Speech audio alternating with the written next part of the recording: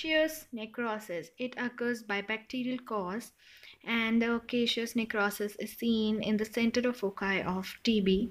It has very cheesy appearance and has characteristics of both liquefactive and coagulative necrosis. Structureless, eosinophilic and granular. These are characteristics of caseous necrosis. Granula is the center of granuloma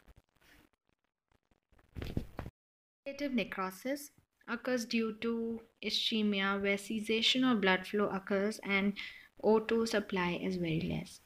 Other causes may, may be bacterial or chemical causes. This mainly occurs in heart, kidney, or spleen. Characteristics are initially pale form and swollen, and further changes to yellowish, softer, shrunken. Tombstone appearance is seen. This is main characteristic of coagulative necrosis. There is a loss of nucleus and cytoplasm is slightly swollen and eosinophilic. There is no degradation of cell. Now, liquefactive necrosis, its also cause is mainly ischemia, whereas other causes can be bacterial or fungal causes. Seen is seen in infarct of brain and abscess cavity, which is softer and liquid material in center. These are liquefactive necrosis characteristic.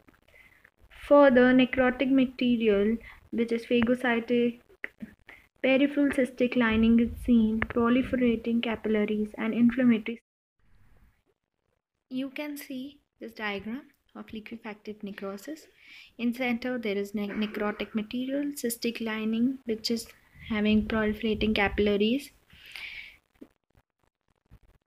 Glial cells, if brain, fibroblast, inflammatory cells are also seen.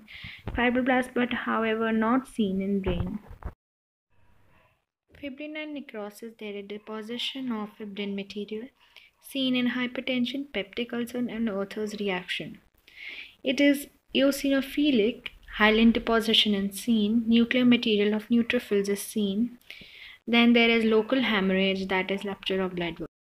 Necrosis mainly occurs in pancreas, which is acute pancreatic necrosis, which is enzymatic.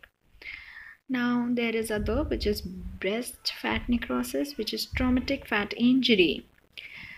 This results which is I'm telling of pancreas, it results due to acute pancreatic lipases, which goes into substance of pancreas and peritoneal cavity because liqui it liquefies fat cell membrane. Now there is basically the lipase splits into triglycerides having fat cells.